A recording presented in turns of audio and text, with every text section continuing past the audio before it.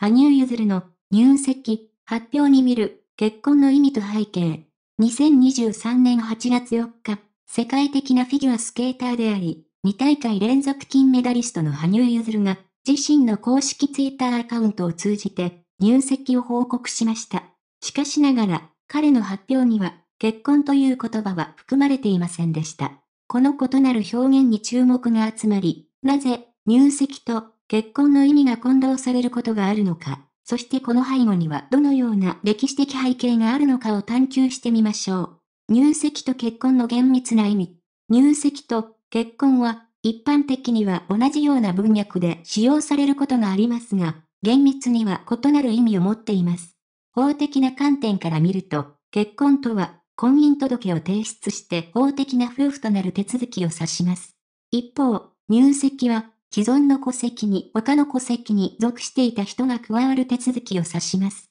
具体的には、再婚時に子供の戸籍を移す際などに使用されることがあります。入籍が結婚と同じ意味で使用される背景。レハナで入籍と結婚が同じ意味として捉えられることが多いのでしょうか。ここで弁護士法人 US の正木純喜代表弁護士の見解を紹介します。正木弁護士によれば、この混同は日本イニシエライの家父長制度の影響が大きいとされています。家父長制度は家族を家、単位で管理し、家長に強い権限を与える制度でした。そのため、女性は結婚すると夫の戸籍に入籍し、家の存続を重視していました。この歴史的背景から、入籍という言葉には結婚の意味が含まれていると考えられ、現代においてもこのイメージが定着しているとのことです。さらに、有名人の結婚発表において、入籍という表現が使われることが多いため、このイメージが強化されています。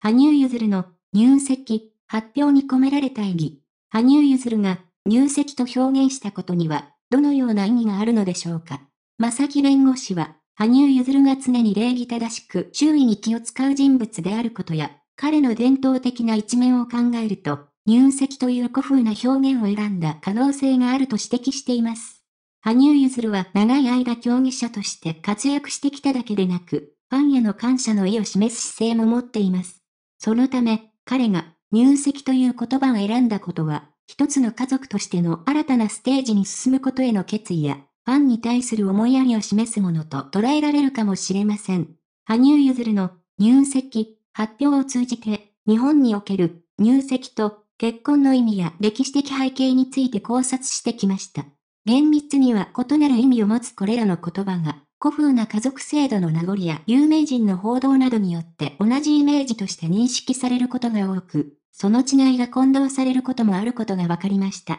羽生結弦の発表は、彼の人柄や価値観を反映していると同時に、一つの時代の移り変わりを感じさせる出来事でもありました。入籍と結婚の意味や背景についての理解を深めることで、我々は言葉の力と歴史の影響をより意識し、異なる視点から世界を見る力を養うことができるでしょう。今回の記事では、入籍と結婚の意味や背後にある文化的背景について探求しました。言葉の持つ意味や歴史の影響は、私たちの日常生活において重要な役割を果たしています。羽生結弦の発表を通じて、新たな視点を得る機会となれば幸いです。新たな視